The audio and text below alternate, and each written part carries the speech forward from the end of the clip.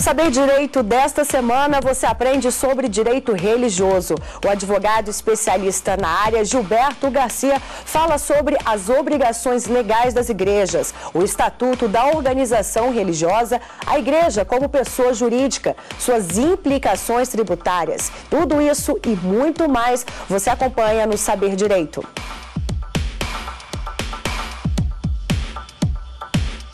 Olá, é um prazer tê-lo conosco nestes encontros onde vamos tratar sobre direito religioso.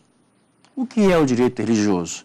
É o direito que se relaciona com o exercício da fé do cidadão brasileiro. Eu sou Gilberto Garcia, sou professor universitário, sou mestre em Direito e sou pesquisador, especialista da área de Direito Religioso, o direito onde se relaciona a fé das pessoas.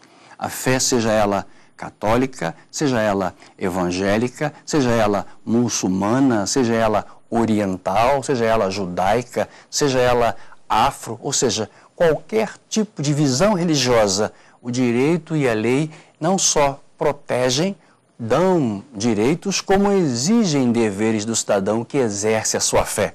Bem-vindo a esses encontros onde estaremos trabalhando, estudando, conversando sobre o direito religioso. Nessa primeira aula, estaremos tratando sobre a questão da liberdade religiosa no Brasil, o Estado laico. A Constituição Federal, no seu artigo 19, inciso 1, diz que o Brasil é um Estado laico. Ali está inserido o princípio da separação da Igreja e do Estado. O texto constitucional diz que o Estado, Estado aí é Poder Executivo, Poder Legislativo, Poder Judiciário, são as suas formatações a nível federal, estadual e municipal. Isso é o Estado. Então a Constituição diz que esse Estado não pode intervir, não pode privilegiar, não pode ajudar qualquer tipo de vertente religiosa, qualquer seja ela. Aí então nós temos no Brasil o princípio do Estado laico vigente. Mas sempre foi assim? Não. Vale lembrar que o Brasil, descoberto em 1500 até 1891, foi um país que tinha uma religião oficial, ou seja, a religião católica apostólica romana era a religião que regia relações sociais no Brasil e relações também jurídicas. Ou seja, alguém para fazer um concurso público, candidatar-se a um cargo eletivo, tinha que professar a religião católica apostólica romana por isso, nesse tempo chamado de Estado confessional, onde havia uma religião oficial. De, da República para cá, nós temos então a inauguração do Estado laico. Separou-se, juridicamente falando, a formatação da Igreja e do Estado. Lá, como Luke já dizia no século XVII, o Estado cuida das questões temporais, a igreja das questões religiosas, espirituais. E o Brasil, então, caminha desta forma e de, da República para cá. Nós temos, então, um Estado laico onde separa-se a igreja do Estado a nível jurídico. E aí, então, há todo um controle nesse sentido. Vale lembrar que no mundo nós temos três modelos. O primeiro modelo, como já colocamos, o do Estado laico, onde a igreja tem a sua atuação religiosa, espiritual, o Estado tem a sua atuação temporal nas questões que envolvem as pessoas na sua vida do dia a dia. O outro modelo é o modelo do Estado ateu, onde o Estado proíbe que as pessoas tenham uma religião. O Estado interfere na vida das pessoas, proibindo que elas professem a fé publicamente ou até mesmo privado. Um exemplo disso é a Coreia do Norte, onde o Estado oficialmente é ateu. Temos também o modelo do Estado confessional, ou seja, o Estado onde nós temos uma religião adotada oficialmente. A Inglaterra é um desse modelo de Estado. A Igreja Anglicana é a religião oficial do país. Lá, as pessoas têm exatamente a obrigação na hora de fazer concurso público, exercer algum cargo público, confessarem a religião anglicana. E quem financia a igreja, quem nomeia bispos e arcebispos é a rainha da Inglaterra. Então lá há um Estado confessional. Não se proíbe que outros tenham religiões, não se proíbe que outros professem a sua fé, mas há uma religião oficial da Grã-Bretanha, da Inglaterra. E esse é um diferencial. Três modelos regem o mundo. Primeiro, o confessional, que é o que o Brasil adota: separação igreja-estado, cada um atuando na sua esfera de atuação e não intervindo, a não ser colaborativamente. Temos aí situações de enchentes, calamidades na sociedade, e então as igrejas ajudam o governo, o governo carece das igrejas para uma participação comunitária, para uma participação de ajuda à população. Fora disso, nem o Estado pode intervir na igreja e nem a igreja intervir no Estado. Por isso, o laico, o ateu, como dissemos, e o confessional. Esses são os três modelos que regem a estrutura jurídica internacional no que tange a igreja e o Estado, as relações jurídicas entre a igreja e o Estado. Pensando nisso, o Brasil é um dos países onde nós temos o maior nível de liberdade religiosa existente. Ampla, amplíssima. O artigo 5 da Carta Magna, inciso 6, vai dizer que é livre a consciência e a crença. Está escrito desse jeito, é inviolável. A crença e a consciência. Ou seja, você e eu, enquanto brasileiros, temos total liberdade de crer naquilo que quisermos crer, da forma que achamos que devemos crer. Isso é estratégico porque não há nenhum tipo de intervenção, de interferência e nem de perseguição. Você tem todo o direito de crer numa religião tradicional, antiga, conhecida, como tem todo o direito de criar, crer, inovar numa nova religião e o Estado não pode intervir na sua fé, na sua consciência, na sua crença.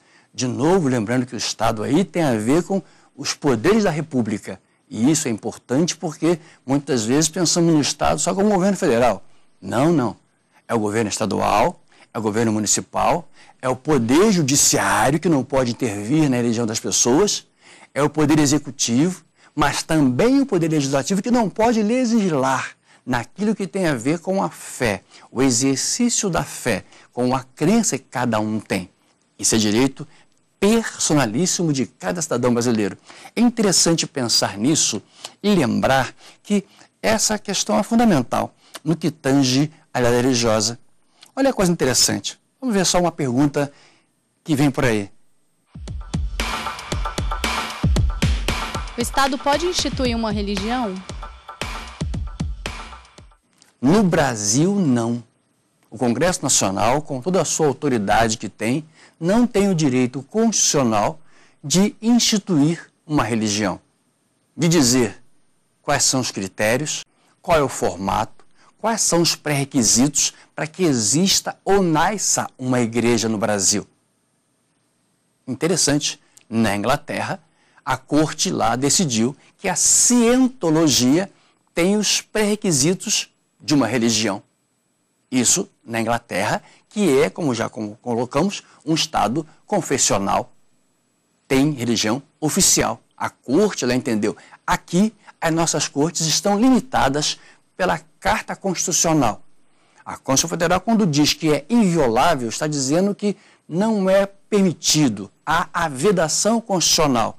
E somado ao artigo 19, que também veda a, a interrelação, a colaboração no sentido de privilégio ou de ajuda a religiões, não dá poderes nem ao Poder Executivo, nem ao Poder Legislativo e nem ao Poder Judiciário de se imiscuir, de querer dizer para o cidadão brasileiro qual é que deve ser a sua religião, ou instituir uma nova, ou validar esta ou aquela religião. Esse é um assunto para o campo da teologia, dos estudiosos religiosos e que se reúnem e que dizem qual é a sua base de crença, quais são os seus dogmas, quais são os seus livros sagrados, qual é a sua forma de crer, qual a metodologia que entendem que devem fazer funcionar os seus preceitos de fé. Então, no nosso país, no Brasil, o Estado não tem esse poder nem pode fazê-lo e a Constituição Federal limita, veda que eles assim o façam. E é interessante pensar desta forma, porque nisso nós entendemos, por exemplo, a questão dos grupos minoritários. Nós no Brasil temos a questão voltada para essa laicidade estatal. E é importante entender bem isso, porque a laicidade não implica em laicismo, em perseguição. O Estado brasileiro, como dito, não é um Estado ateu. Ele não persegue religiões. Ao contrário, toda a legislação que nós temos construído é uma legislação que visa proteger, resguardar, cuidar do exercício da fé, dando à pessoa, dando ao cidadão, dando ao religioso o direito de poder exercitar a sua fé dentro daquilo que ele crê. Isso é importantíssimo porque aí entra toda a estrutura jurídica do direito religioso, resguardando esse cidadão brasileiro. Lembrando que temos toda uma tradição cultural católico-apostólico romana. São quase 400 anos de orientação e muito bem-vinda seja via jesuítas, seja pela estrutura que nós temos judaico-cristã, de toda a base legal que nós temos, tem a ver com isso. Mas é exatamente a partir dessa legislação que vai resguardar, que vai respeitar este exercício de fé. É que garante a qualquer cidadão que a sua religião, pouco importa se tem muitos ou poucos adeptos, pouco importa se ela tem mais de 200, 400 ou 300 anos. Pouco importa se ela é milenar ou se ela começou semana passada. Ela é uma religião e assim deve ser respeitada. Aí está o princípio do Estado laico, onde o Estado respeita, resguarda. E é interessante pensar desta forma porque a estrutura jurídica, a parte da Constituição Federal, caminha nesse sentido. Por isso mesmo, é vital que não só entendamos, como pratiquemos essa separação da igreja do Estado, onde dá ao cidadão brasileiro todo o direito de exercitar a sua fé, de viver a sua fé, de poder, a partir da sua fé, entender que esse exercício de fé está ligado também à legalidade. E por que isso? Porque o direito corresponde a um dever. Quando a Constituição Federal vai dizer, no seu artigo 5, inciso 6, que é inviolável a crença e a consciência, ela também diz que os locais de culto são, na forma da lei, resguardados. Aí nós temos uma diferenciação importantíssima nesse instante para nós que lidamos com direito, principalmente, entendermos. A crença e a consciência são subjetivos são internos, são do coração, da alma, do espírito. Mas o exercício da fé, esse não, esse é objetivo. Esse tem a ver com exercício em comunidade, com exercício da vida em coletividade, tem a ver justamente com a convivência em que a sociedade quer seja pacífica e salutar. Então, quando eu vou exercitar a minha fé eu preciso estar atento que esse exercício da minha fé também tem que respeitar o Estado laico. Aí está o interessante. Eu não posso querer ter uma fé onde as pessoas queiram exercitar o seu dogma, a sua forma de crença e, com isso, desrespeite a laicidade do Estado. Não, de forma nenhuma. O exercício da fé está ligado justamente à convivência pacífica dos cidadãos precisam ter em sociedade. E por isso entender que o Estado é laico para resguardar o seu direito de ter a sua fé. Mas esse mesmo Estado laico tem um conjunto de regras, um conjunto de normas, um conjunto de leis que vai exatamente dizer a você: você tem limites para exercitar a sua fé. Sim, tem. Um exemplo simples: se sua igreja, por exemplo, batiza alguém e o batismo é um ato religioso que as igrejas praticam. E aí agora é importante que eu já diga nesse instante, quando eu falo igreja, no sentido jurídico, constitucional, legal, eu estou me referindo ao terreiro de Umbanda. É uma igreja. Eu estou me referindo ao terreiro de Candomblé. Eu estou me referindo ao centro espírita. Eu estou me referindo à sinagoga judaica.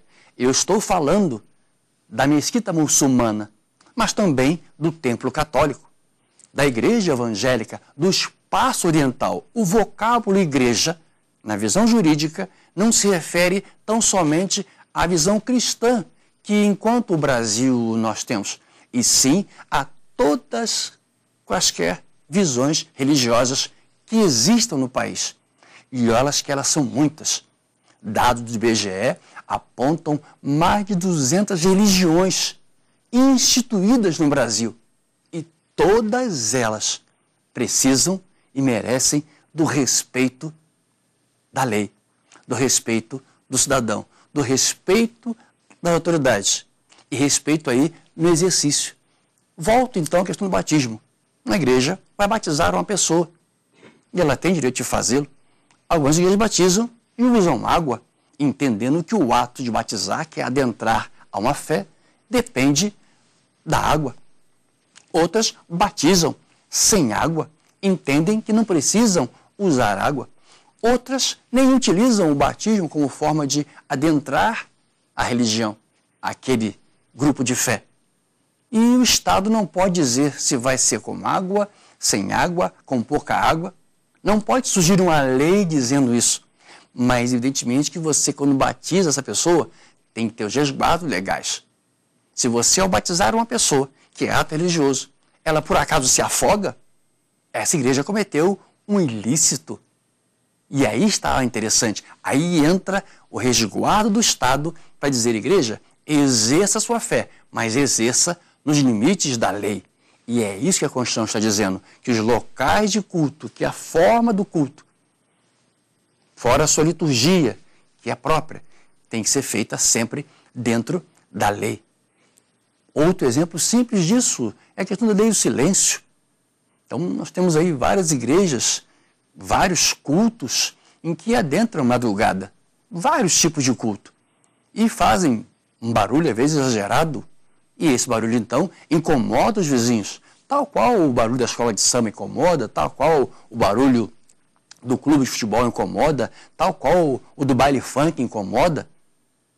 Barulho é barulho.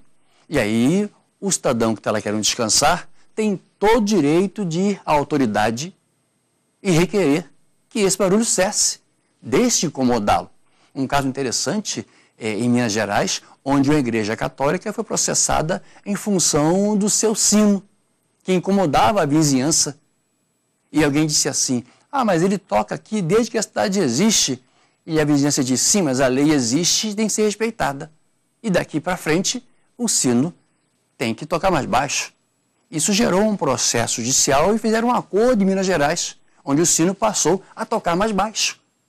É esse Estado laico que resguarda do mesmo jeito que uma mãe de santo, é, num terreiro de Umbanda, também fazia um barulho exagerado e foi judicialmente, por sua vizinha, processada. E também tiveram que encontrar uma fórmula de acomodação para que o barulho não incomodasse a vizinha, mas que o terreiro de Umbanda pudesse fazer os seus rituais. Um outro caso interessante, uma igreja evangélica foi fechada, lacrada, porque, mesmo com a judicial, continuaram a interferir na questão do som. E aí então houve multa e ela foi lacrada e depois reaberta naturalmente, mas teve que cumprir a vertente jurídica do Estado laico. E esse Estado laico atua em todas as vertentes religiosas, ou seja, é o que resguarda tanto o seu direito de exercer a fé, mas resguarda o direito do cidadão para que as leis sejam respeitadas. Esse princípio do Estado laico, seja inserido no artigo 5 seja inserido no artigo 19, é que dá justamente tanto proteção por um lado, quanto fiscalização por outro, para que o exercício da fé não seja incomodativo e nem fira leis que o país tem. Leis sempre de convivência social, de convivência legal, que dá às pessoas o direito de poder viver a sua fé mas respeitando aquilo que a sociedade tem colocado. É interessante quando pensamos nesse exercício da fé no Brasil, até porque temos toda uma vertente, toda uma percepção de que não há lei, de que não se preocupa com isso, cada um exerce sua fé. Não é bem assim. Para abrir um espaço religioso, é fundamental, por exemplo, em algumas cidades ter alvará. Sim, em algumas cidades, em nosso país, é obrigatório ter um alvará para abrir o espaço. E por que o alvará? Porque a autoridade municipal vai dizer que aquele espaço está é, resguardado, que aquele espaço tem condições ergonômicas, que aquele espaço tem uma ambientação física, que as portas de emergência estão lá colocadas, que há extintor de incêndio. Então, em alguns estados, por exemplo, que não tem alvará, é obrigatório o certificado de Corpo de Bombeiros. Aliás, em todos os estados é obrigatório o certificado do Corpo de Bombeiros. Em alguns municípios existe alvará. Mas em todos eles, do Brasil inteiro, e se sua igreja que você frequenta, se a sua sinagoga, se o seu espaço oriental, se a sua mesquita, se o seu terreiro de umbanda, se o seu templo evangélico não tem o certificado do Corpo de Bombeiros, é importante que você avise a sua liderança, porque é obrigatório. Todos os estados têm leis estaduais e essas leis obrigam que qualquer espaço que reúna pessoas tem que ter segurança, garantia. Então, cada estado tem a sua lei e esta lei tem lá o resguardo de toda a estrutura física para se juntar gente temos tido no Brasil algumas calamidades, alguns incêndios em casas de show, até em igrejas evangélicas, exatamente pelo descuido. E onde entra a regra legal aí? Entra no Estado laico, dizendo: olha, pouco importa a fé que você vai exercer aqui dentro, mas para ocupar esse espaço, colocando pessoas e pessoas que podem estar tendo qualquer atividade, inclusive a religiosa, esse espaço tem que ser resguardado pela lei. E a lei vai dizer, em algumas cidades, o alvará da prefeitura, município vai dar autorização para que aquele espaço seja um espaço de uma igreja, de um templo, de um terreiro, ou o Corpo de Bombeiros dá o certificado. Lembro de uma vez dando uma consultoria a um grupo espírita em que disse: olha, aqui vocês têm cerimônias. E as cerimônias que vocês fazem muitas vezes pessoas se incorporam de entidades. Essas entidades, então, é, têm atividades que elas fazem. Se uma pessoa cair aqui, quebrar um braço, se aqui uma pessoa se queimar numa roda de fogo ou algo, algo parecido que vocês fizerem, vocês têm seguro aqui? Ah, professor, tem que ter seguro? É claro, muito claro. O artigo 186 do Código Civil é límpido qualquer aquele que comete ato por ação ou omissão e causar prejuízo a outrem, comete dano. É límpido. Então, o espaço, pouco importa qual o tipo de fé que será exercida, precisa ter um resguardo. É obrigatório ter seguro? Não é obrigatório, mas é bom que possua. É obrigatório ter o corpo bombeiro ir lá e fazer o certificado? Sim, é obrigatório. Até porque a seguradora, para poder fazer o seguro, vai exigir que tenha um corpo de bombeiro. Até porque se houver algum incêndio, algum acidente naquele espaço, a primeira coisa a ser pedida é: cadê o fiscal, o corpo de bombeiros? Cadê a fiscalização? Cadê o certificado? Até para resguardar a instituição. Então, já fica um dever de casa para você saber se o espaço que você frequenta, que você cultua, que você participa, está legalizado. A sua cidade exige o alvará? Veja junto à prefeitura municipal. Se não exige, veja se tem no seu espaço de fé. O Corpo Bombeiro está lá o certificado e isso tem que ser fixado em local público. Ou seja, as pessoas que adentram ao local de fé têm que viver o extintor bem colocado. O espaço tem que ter as sedes de emergência devidamente orientadas. Sim, é verdade isso. Para tudo quanto é espaço, inclusive o religioso. Por isso, o Estado laico vai justamente resguardar o exercício da fé.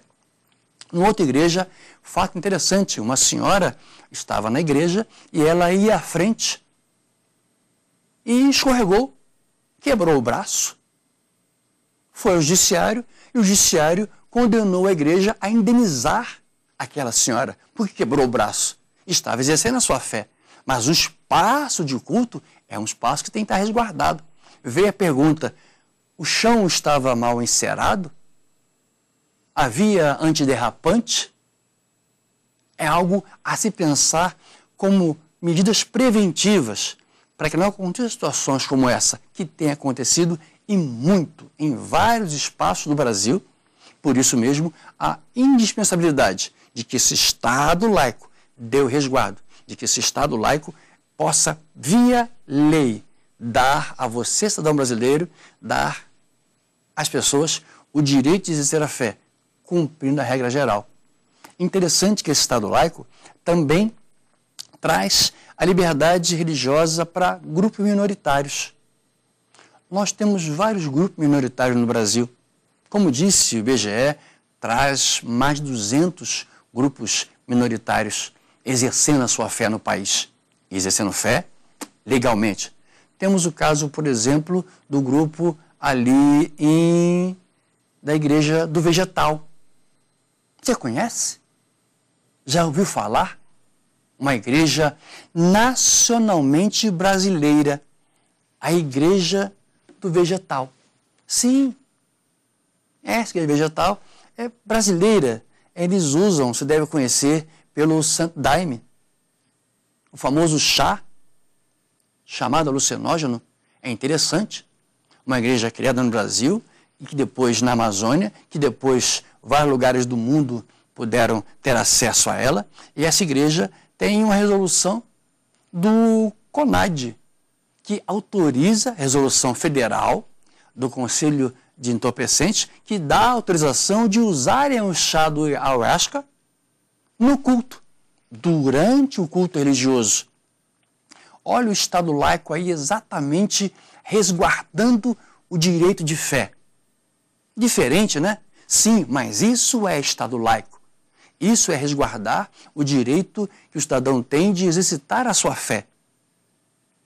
Mas ninguém pode tomar esse chá fora da reunião, porque senão poderá ser processado porque esse chá é um alucinógeno, a autorização é específica, restrita para uso durante a cerimônia religiosa.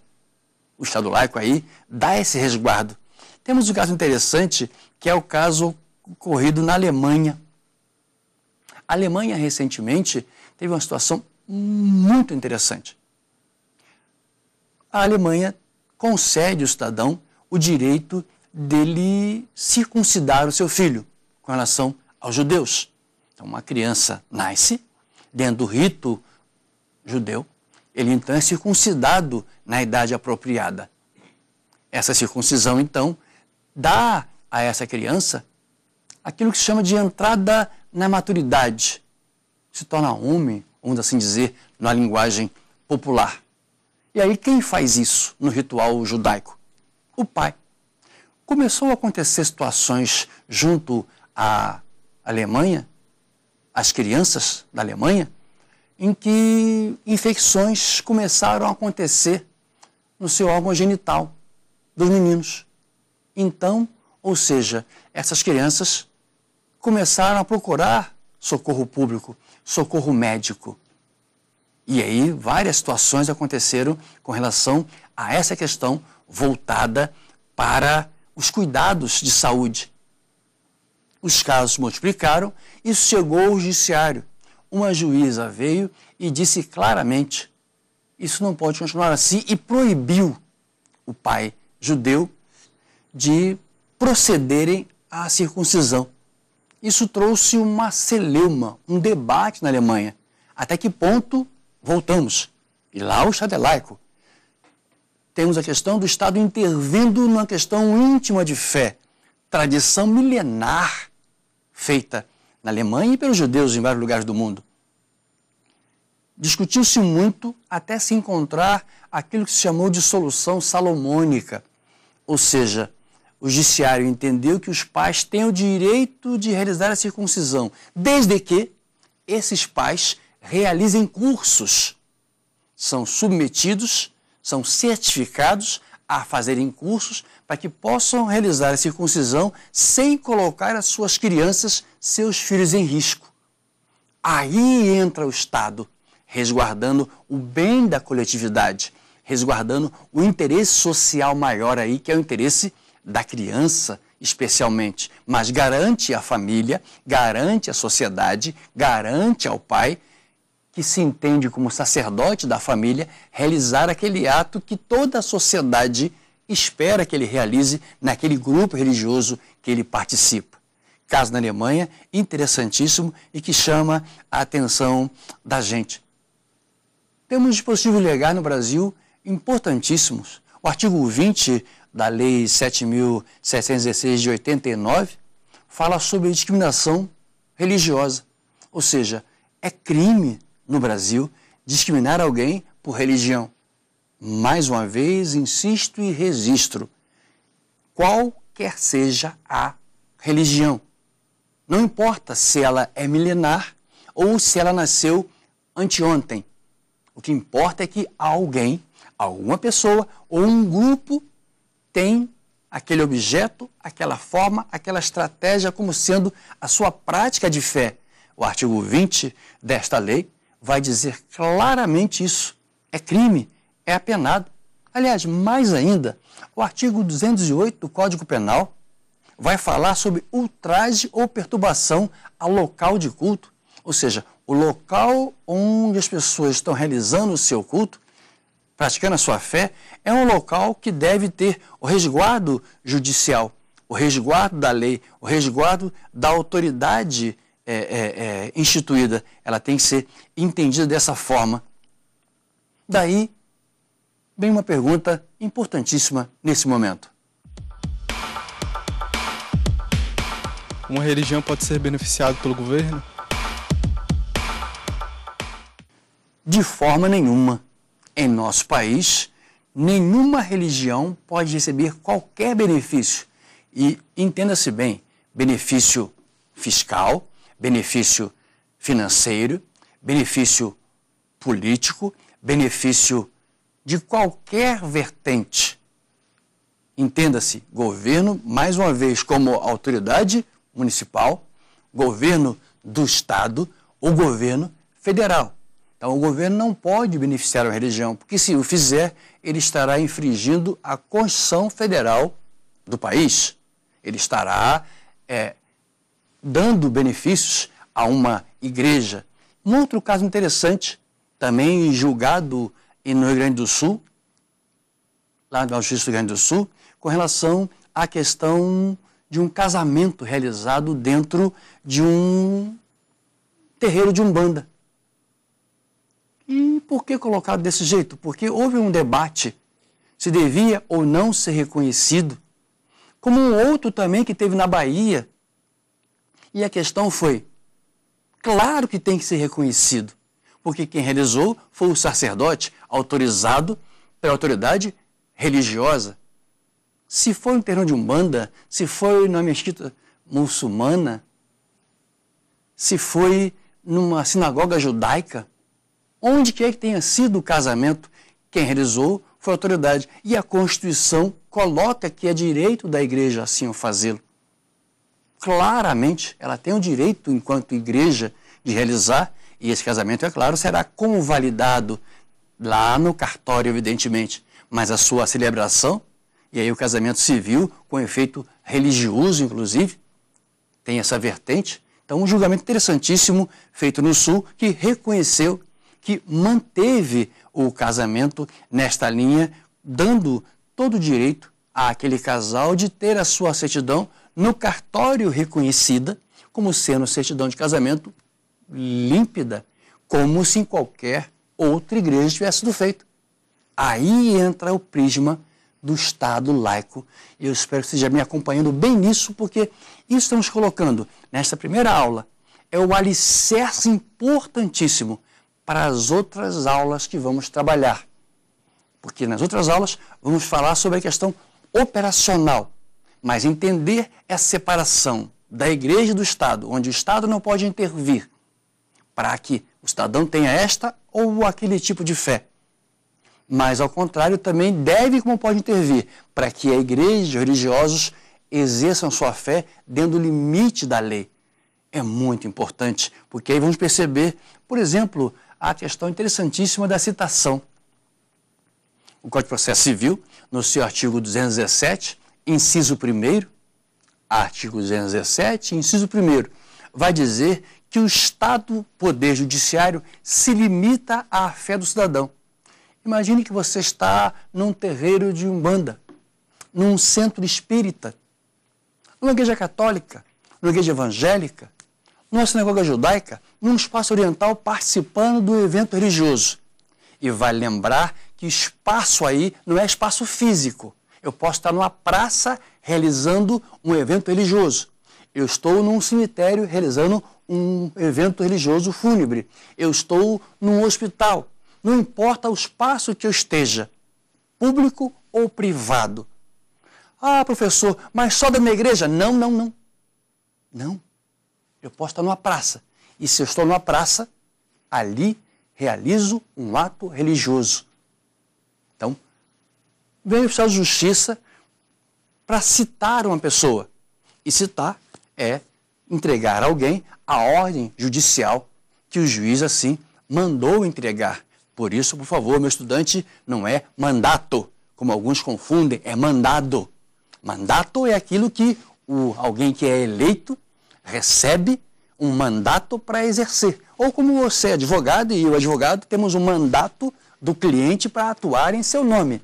Mandado, como o nome já diz, é um mandado. Alguém deu a ordem para alguém cumprir. Cumpra lá, menino, compre lá o pão. É um mandado. Vá no mercado compre isso. É um mandado. O oficial de justiça é um mandado. Ele é mandado pelo juiz para cumprir uma ordem judicial. Ele então vai ali, como gostam de chamar alguns, como langamanos do juiz, ou seja, a mão do juiz que se estende até a pessoa para chegar até ela. O juiz não vai, vai lá sua justiça que tem fé pública. Ele então chega no culto religioso. Insisto, pouco importa se ele está num espaço fechado de uma igreja ou se ele está numa praça pública. Pouco importa. Num cemitério. Pouco importa. Ele então tem que aguardar terminar o ato religioso para então entregar aquela citação a alguma pessoa que esteja participando daquele ato religioso para então ser citado. Ou seja, o Estado para, o juiz Estado para no ato religioso, aguarda terminar para entregar. Esse é o Estado laico que nós temos no Brasil. Mas não para por aí. Imagine que essa pessoa, numa estratégia, está na sua cerimônia e sabe que o horário para a citação do dia seguinte vai se encerrar. E aí então, aquele ato que acabaria às 8 da noite se estende até às 10 e se estende até às 11 da noite. E daqui a pouco vai virar meia-noite e aquele direito de citar aquela pessoa vai prescrever. Ou seja, o Estado não poderá mais citá-la, porque um dia anterior encerrou-se o prazo da possibilidade dela receber aquela citação e ter validade legal. E aí então, o que, que a lei vai dizer? Isso é lindo, meu estudante de direito, meu colega advogado, professor amigo. Isso é lindo. Ou seja, a lei diz, o CPC vai dizer, nesse mesmo artigo, que nesse instante, excepcionalmente, o oficial pode adentrar ao culto às 23h59 dizer assim, olha amigo, eu estava ali fora guardando desde as 6 da tarde, ou desde as 11 da noite, mas o seu ato está se estendendo e vai passar o horário de eu citar você. Aí ele vai entrar, pedir licença, chamar a pessoa e citá-la, entregar o documento na mão dela. Ela então está citada legalmente. Olha só as balizas que o Estado laico traz. Uma impede a intervenção no ato religioso. Outra, não permite que você, cidadão, que eu, cidadão, que qualquer cidadão religioso queira se aproveitar do ato religioso para fugir à obrigação legal. Aí está a beleza do equilíbrio desse Estado laico, que protege, mas que obriga você a cumprir os princípios que a lei traz. Isso é fundamental nessa percepção que nós temos com relação à laicidade do nosso Estado. Isso é importantíssimo quando nós pensamos exatamente na perspectiva desta convivência que também temos que ter com os ateus e agnósticos. Porque não é só quem crê que o Estado laico protege.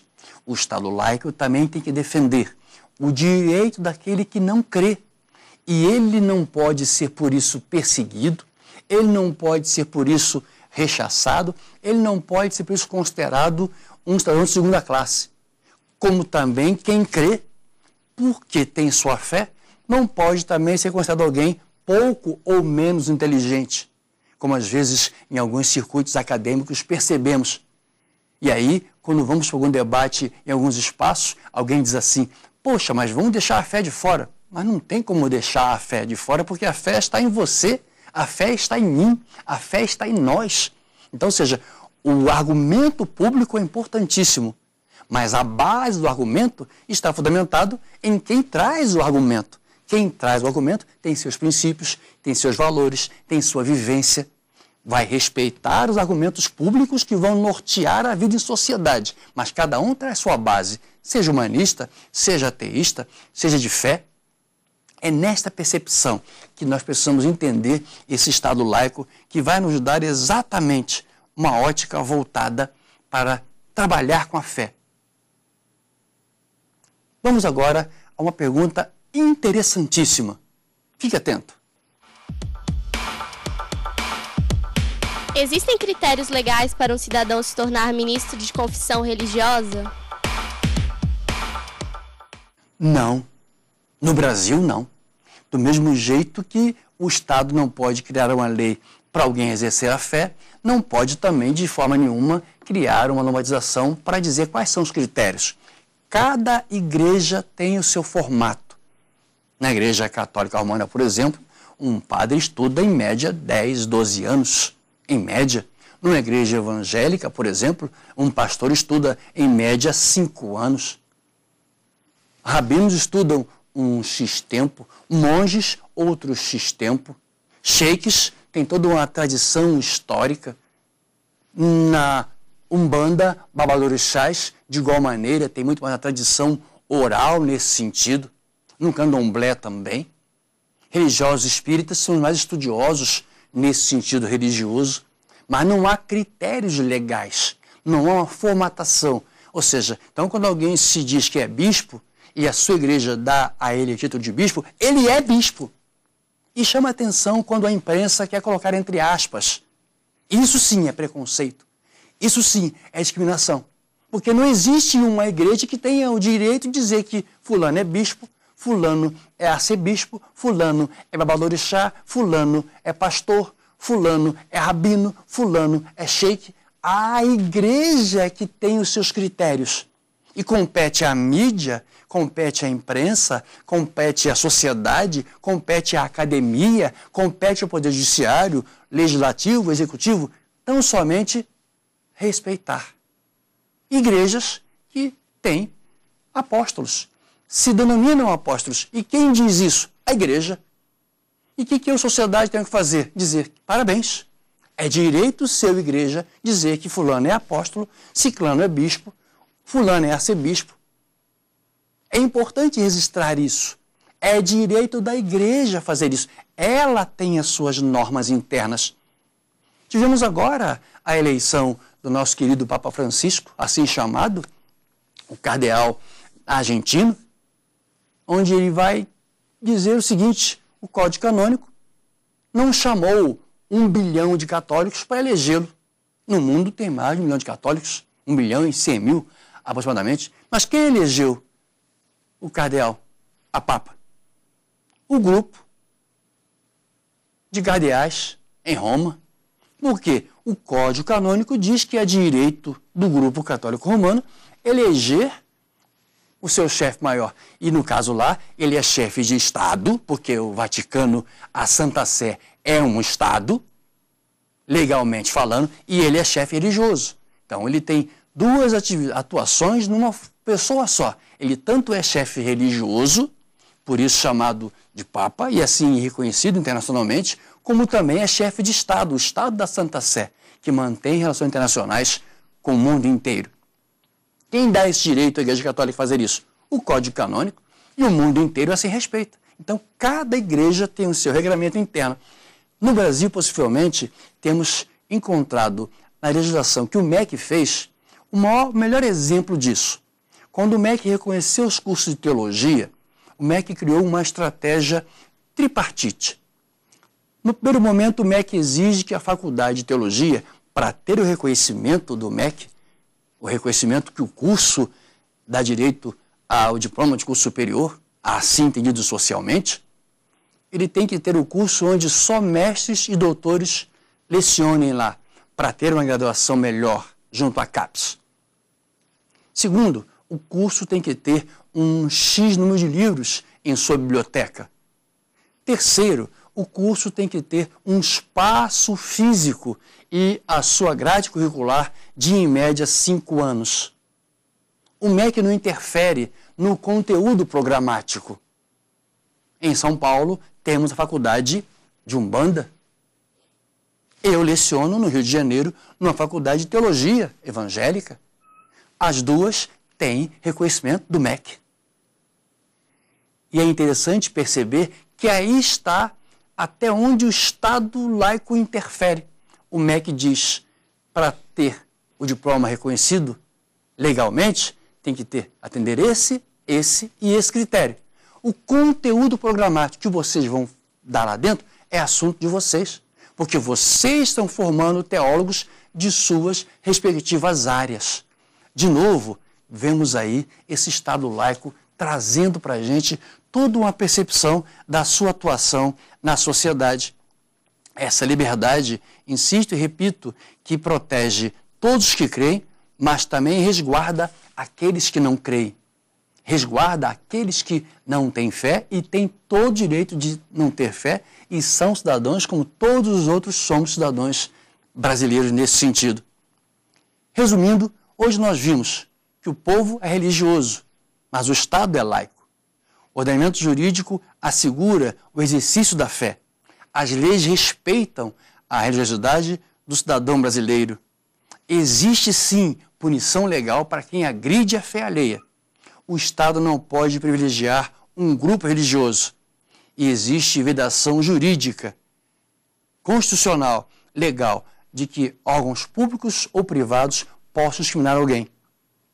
Vimos isso hoje. Quero convidá-lo para que esteja conosco no próximo encontro, onde vamos tratar aí sim das questões operacionais, ou seja, a igreja e as leis civis do país. Como é que elas interferem, o Código Civil, junto à igreja? Aguardo você em nosso próximo encontro. Um grande abraço. Até lá. Ficou com dúvidas sobre o assunto? Então mande um e-mail para saberdireito.stf.jus.br. Você também pode estudar pelo nosso canal na internet. O site é tvjustiça.jus.br.